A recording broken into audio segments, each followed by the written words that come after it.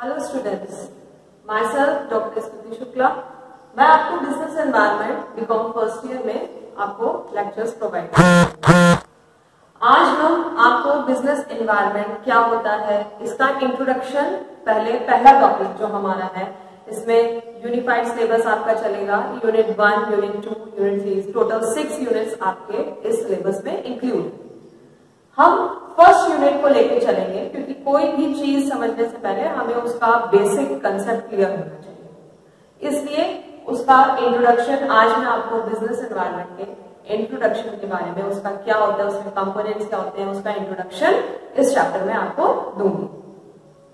तो first of all what is business environment हम environment में जाने से पहले फ़र्स्ट ऑफ़ ऑल हमें ये समझना होगा व्हाट इज़ बिज़नेस आप पहले से पढ़ के आए होंगे, जो हमारे कॉमर्स के स्टूडेंट्स हैं, वो ऑलरेडी पढ़े होंगे, लेकिन जो हमारे साइंस के स्टूडेंट्स हैं, उनके लिए बिज़नेस शब्द का मतलब क्या होता है?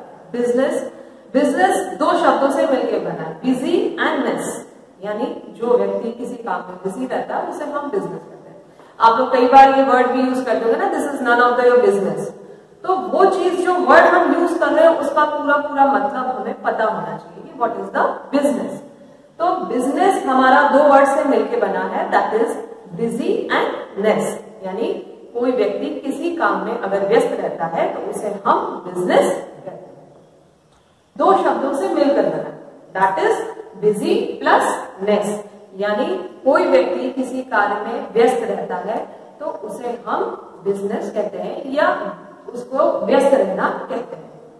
ये हो गया बिज़नेस का मतलब। लेकिन हम यहाँ व्यस्त रहने की बात नहीं कर रहे हैं। हम यहाँ बिज़नेस एनवायरमेंट पढ़ रहे हैं, यानी कि हम व्यवसाय पर्यावरण के बारे में पढ़ेंगे। और व्यवसायिक का मतलब होता है कि जितने भी हमारे जो व्यवसाय चल रहे हैं, उसके अकॉर्डिंग हम बिज़नेस की अब डेफिनेशन आपको आगे समझाने जा रहे बिज़नेस की दो डेफिनेशन है that is old concept and modern concept पहले ओल्ड कंसेप्ट में हम सिर्फ़ ये मान के चलते थे कि what is the mutual gain दोनों का म्यूचुअल गेन उसमें हम सिर्फ़ एक चीज़ को मोटिव मान के चलते थे कि हमें प्रॉफिट होना चाहिए। जो हमसे सामान खरीद के ले जा रहा है, वो भी अपना प्रॉफिट के बारे में सोचता था, और जो हमारे मैन्युफैक्चरर्स होते थे, वो भी अपने प्रॉफिट के बारे में ही सोचते थे। तो ओल्ड कंसेप्ट क्या था? Business is an occupation of which money gain is the principal object and money loss is the main risk उसमें सिर्फ़ दो ही बातें हमें ध्यान में रखनी होती थी, जो हमारे पुराने विचारधारा थी कि बिज़नेस करने का मतलब है या तो हमें प्रॉफिट होगा और ये हमारा सबसे ज़्यादा अच्छी, ये हमारा म्यूचुअल गेन होगा, ये सबसे बड़ा गेन होगा और जो हमारा मेन रिस्क होगा, वो सिर्फ़ मनी लॉस होगा। यानी अगर पैसा आया तो प्रॉफिट पैसा गया तो वो रिस्क ठीक है? वो हमारा लॉस लेकिन ये विचारधारा जैसे जैसे टाइम टू टाइम हमारी सराउंडिंग चेंज होती गई ये विचारधारा तब तब तक रही जब तक लैक ऑफ़ एजुकेशन था जब तक लैक ऑफ़ नॉलेज थी। हमारे जो आफ्टर इंडिपेंडेंस uh, इतने लोग पढ़े लिखे नहीं थे तब तब इतना बिज़नेस को लेकर के बहुत ही ज़्यादा मॉडर्न कंसेप्ट किसी में नहीं आया ना ही उसके बारे में इतना लोगों ने सोचा।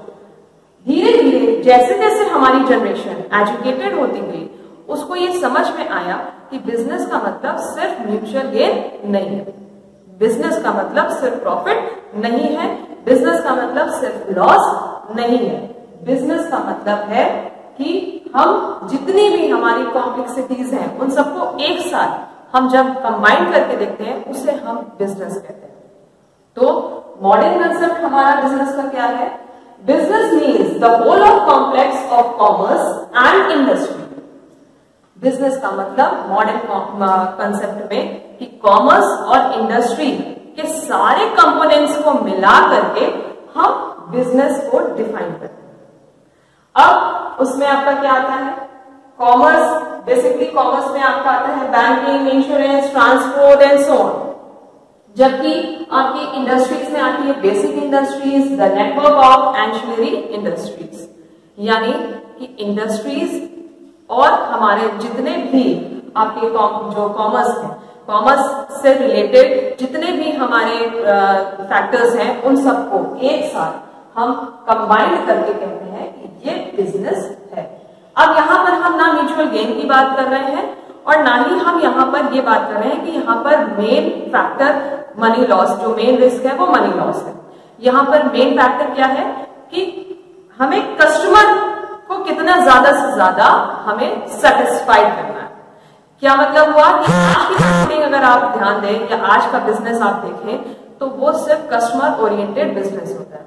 यानी कस्टमर जैसे डिमांड करता है मैन्युफैक्चरर उसी हिसाब से अपने प्रोडक्ट्स में चेंजेस ला करके उसको मार्केट में सेल करे यानी कस्टमर का जितना ज़्यादा एक्सपेंड होगा और हमारे साथ ही साथ सिर्फ़ यही तक नहीं, अब मॉडर्न कंसेप्ट में बिज़नेस का मतलब ये है कि जितना ज़्यादा हम कस्टमर को अपने से जोड़ सके प्लस हमारी मार्केट वैल्यू या हमारी शेयर वैल्यू जितना ज़्यादा से ज़्यादा उसमें जुड़ सके।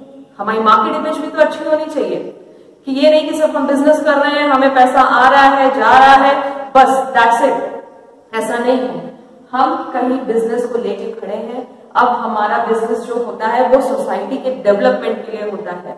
वहाँ की रहने वाले लोगों के डेवलपमेंट के लिए बिज़नेस किया जाता है। अब ओल्ड कंसेप्ट नहीं है। अब कि आपने कोई चीज़ लेने गए और उसके बदले में आपने कोई चीज़ दी और आप लेकर के चले आए। जैसा कि आपने बार्टर सिस्टम में एक बार पढ़ा भी होगा स्टार्ट जो हमारे कॉमर्स के स्टूडेंट्स हैं, वो जानते होंगे what is the barter system barter system में या आपने पढ़ा होगा कि हम कोई भी चीज़ लेने चाहते थे तो उसके बदले में दूसरी चीज़ दे आते थे। जैसे मान लीजिए, पुराने टाइम पे कोई लोग अगर एक किलो दाल लेने गए तो उसके बदले में वो वहाँ पर एक किलो धान देके चले आए। और वापस लेकर के आ लेकिन अब ऐसा नहीं है। अब अगर हम गुड्स एंड सर्विसेज़ ले रहे हैं तो उसके बदले में हम वैल्यू पे कर रहे हैं।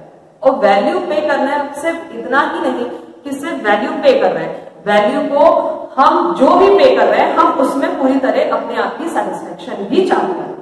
आप हमेशा जब भी आप पे करते हो तो ये सोच समझ के पे करते हो, इतना पैसा लगा रहे हैं, इसमें हमें क्या फ़ायदा होगा? हमारा सेटिस्फेक्शन या हमारा जो पर्पज है, वो सॉल्व हो रहा है या नहीं हो रहा है? तो मॉडर्न कंसेप्ट में बिज़नेस का मतलब होता है whole of complex of commerce and industry जहाँ पर मैंने आपको बताया कॉमर्स से रिलेटेड आपकी इंश्योरेंस बैंकिंग और ट्रांसपोर्ट एंड सो ऑन क्यों? क्योंकि हमारे गुड्स बन के फैक्ट्री में तो नहीं रखे रहेंगे। हमारे गुड्स बन के डिस्ट्रीब्यूशन होगा, उनका मार्केट चैनल में वो जाएँगे। पर्टिकुलर मार्केट्स में उनको पहुँचना है। किस मार्केट में पहुँचने में ट्रांसपोर्टिंग की क्या कॉस्ट आ रही है? कभी कभी शिपिंग भी हमको यूज़ करनी पड़ती है। कभी कभी हमको ट्रक से उनको लोड करके भेजना पड़ता है। बहुत सारे तरीके हैं हम गुड्स को उनके डिस्ट्रीब्यूशन चैनल तक पहुंचाते हैं। तो उसमें हम ट्रांसपोर्टिंग भी यूज़ करते हैं। उसमें हम लेबर्स भी यूज़ करते हैं। उसमें हम इंश्योरेंस भी यूज़ करते हैं। उसमें हम बैंकिंग भी यूज़ करें क्योंकि हम, बनी बात है कि हम पेमेंट करते हैं। और आप प्रेजेंट सिनेरियो में, जैसे कि आप लोग तो डिजिटल इंडिया के बच्चे हैं, आप लोग को ये पता होगा कि अब धीरे धीरे बैंकिंग हमारी डिजिटल होती जा रही है। आपने ई वे बिल सुना होगा ई वे पेमेंट सुना होगा, ये सब हम ट्रांसपोर्टिंग में यूज़ करते हैं। तो इन सब का खैर आगे आपको बताया जाएगा डिस्ट्रीब्यूशन यानी अब इंडस्ट्रीज़ में, जो बेसिक इंडस्ट्रीज़ थी हमारी हम उनको भी लेके चलते हैं। और एंजीनियरिंग इंडस्ट्रीज़ यानी सहायक उद्योग, जिसे हम कहते हैं, उनका भी हम उनको भी लेकर के चलते हैं। यानी जो एक हमारी, जो एकदम स्टार्टिंग बेसिक इंडस्ट्रीज़ जिसे स्टील आयरन कहते हैं स्टील आयरन इंडस्ट्रीज़ उनको लेकर के दूसरा सहायक इंडस्ट्रीज़ जो हमारे उनको सपोर्ट करने के लिए छोटी छोटी इंडस्ट्रीज़ लगाई गई हैं उनको भी, यानी मॉडर्न कंसेप्ट हमारा अब बहुत बड़ा कंसेप्ट है। उसमें जो डेफिनेशन ये जो मैंने आपने जो लिखी है, इसको आप देख सकते हैं। लेकिन इसके अलावा एक चीज़ आपको और ध्यान रखनी है मॉडर्न कंसेप्ट में, कि आप इसमें कस्टमर को जितना ज़्यादा से ज़्यादा जोड़ सकते हैं, वो भी इसमें इंक्लूड है प्लस हमारी मार्केट शेयर वैल्यू भी इसमें पूरी तरह से इंक्लूड है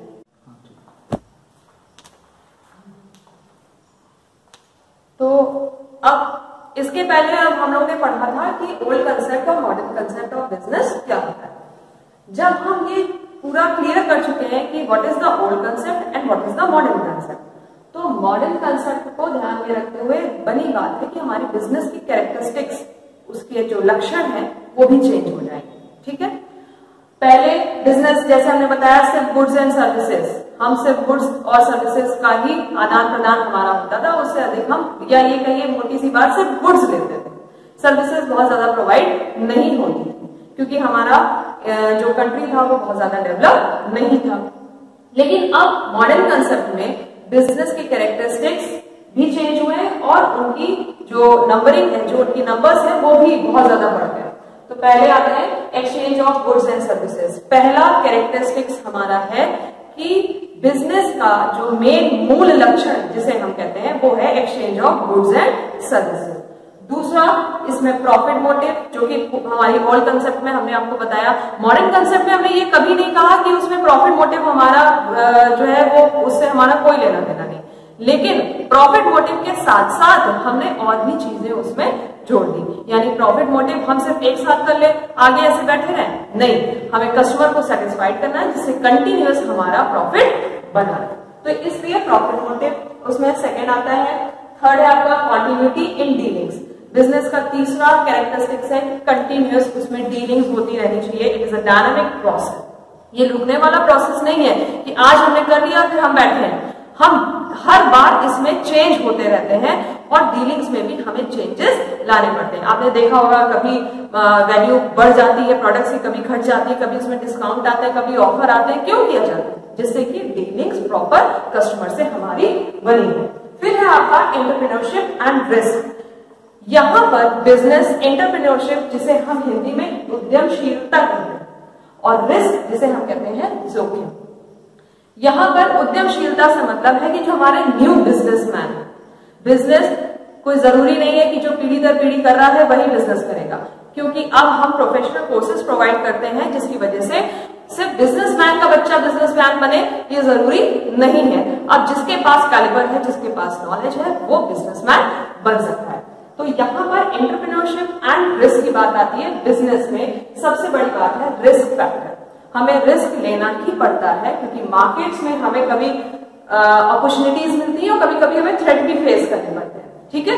यानी कभी हमें वहाँ पर आपको अवसर प्रदान होंगे और कभी कभी आपके लिए सामने थ्रेट होगी कि इसको हम कैसे फेस करें अचानक से मार्केट का डाउन हो जाना, अचानक से रिसेशन आ जाना, ये सारी चीज़ें आपको एंटरप्रेन्योरशिप एंड रिस्क देन आता है क्रिएशन ऑफ़ यूटिलिटी बिज़नेस का मतलब कि कितना ज़्यादा से ज़्यादा हम टाइम प्लेस और मनी का अच्छे से अच्छा उसको यूटिलाइज कर सकते देन कस्टमर सेटिस्फेक्शन जैसा कि हम बता चुके हैं कि इसमें कस्टमर का सेटिस्फाइड होना सबसे बड़ा फैक्टर है। इनोवेशन एंड रिसर्च कंटिन्यूएशन में हमको इनोवेशन एंड रिसर्च करते रहना चाहिए, जिससे कि हमें मार्केट में नई अपॉर्चुनिटीज़ क्या है, इसके बारे में पहले से हमें पता हो और हम अपने बिज़नेस को चेंज कर सकें। देन आता है ह्यूमन एक्टिविटी कंटिन्यूस ये ह्यूमन एक्टिविटी में भी चेंजेस लाता है. उनकी ट्रेनिंग के अकॉर्डिंग हम उनको भी एक्टिव बनाए रखते हैं. और फिर आता है business is a social activity और लास्ट है business is a both science and art social activity इसलिए है क्योंकि ये हमारी सोसाइटी को डेवलपमेंट में हमें बहुत ज़्यादा हेल्पफुल होता है. दूसरी चीज़ है business is a both science and art ये साइंस भी है और ये आर्ट भी है। आर्ट कि, किस कला से हम उसको अच्छे से अच्छा आपके सामने पेश कर सकते हैं? दूसरी चीज़ साइंस कि उसके जितने भी फैक्टर्स हैं, वो हम उसको कॉन्ट्रीब्यूट कर सकते हैं।